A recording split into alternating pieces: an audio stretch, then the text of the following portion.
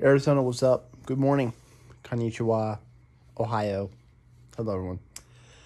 You know, the past few months, I thought about something. You know, it's something I thought about. And this is more of a philosophy base. I'm starting to notice people think about money as if it's. Um, I'm trying to think.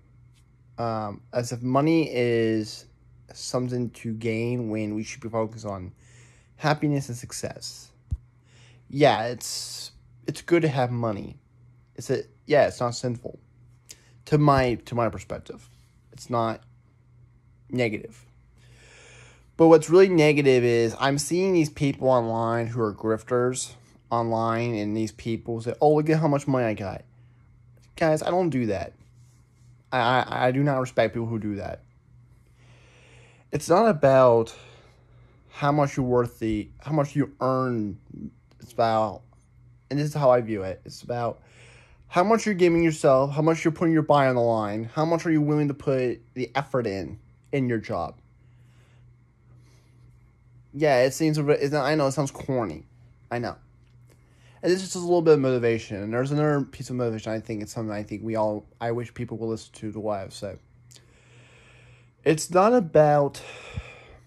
It's not about what people say about you. About what you say about yourself.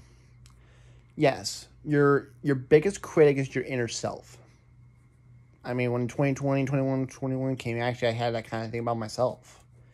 Inner critic, you know, can I actually still have it in college and all that jazz, right? Well, I did. But the worst critics you'll have are people who have.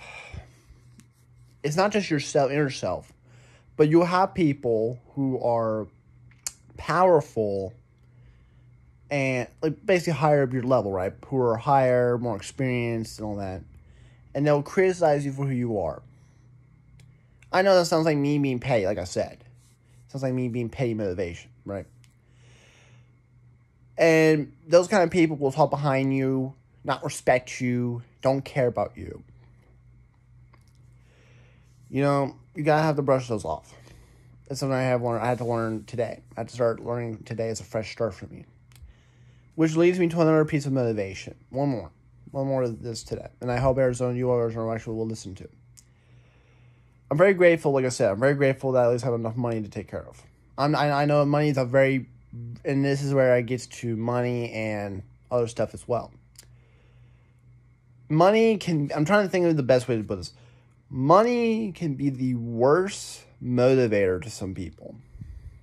I mean, I can be that way sometimes, but I can be that example. I get angry sometimes when we lose a game because I have so much progression for Arizona, right? You all you know that. And then we get messed up on a, on a play because all that. But money wise, it's kind of like the same. You have people, and what, this one annoys me the most is that I see people get thousands of dollars, right? Or they win the lottery, right? And then you have these people who are proud and haughty. Not only this this makes you look bad. I'm not saying you all, by the way. Not saying to you, Ashley, or anyone of you else. I think it's something that needs to be listened to. I think money, greed, greed is one of the most deadliest things in the world.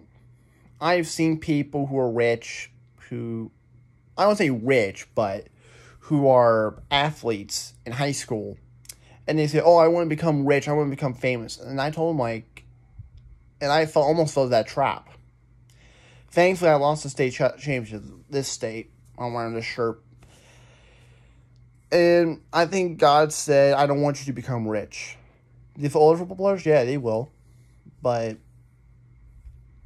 but I want, and basically, God wanted me to be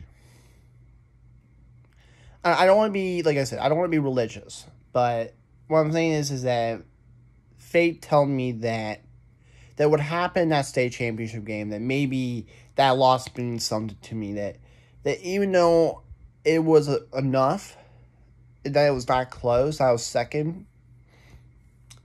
At least it tells me, it taught me that to be humble to where I'm at, to continue doing good deeds, and that that there'd be a reason why. I mean, I don't know, just my way of wording things. I don't know. My my wording can be dry sometimes. But this to but basically my motivation overall today is put put your effort in. Don't give up and remember to keep your head high. Be the bigger person. If someone wants to be mad at you just for throwing an attitude at you and just throwing an attitude at you, ignore the attitude, but also remember to look at the words. Look at the words, remember the attitude. And and yes, this comes to your work, comes to this team, and it comes to everything else. And yes, I'm okay with listening to you all being honest with me. I'm I'm actually been less um angry with that. Because it's it's petty to be angry over stuff that is very factual. That's why EJ EJ you're watching, that's why I said, okay, you got a good point. So, like I said, like I said, like I said, like I said, uh, hope you all have a good day. And um, like I said, it's not about it's not about me. This is a team, and I'm considering wanting to do the effort. Um, I'll keep showing these more. Uh, uh, probably next, probably tonight. I'll probably do another one. Probably talk about um, my thoughts just so far this season. So keep ahead of that. So probably be around in the afternoon. So